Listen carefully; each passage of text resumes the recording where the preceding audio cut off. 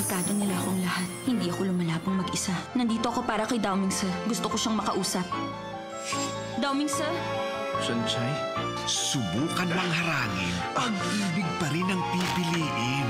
Ba't hindi ka kumakain? Ako bang dahilan yan?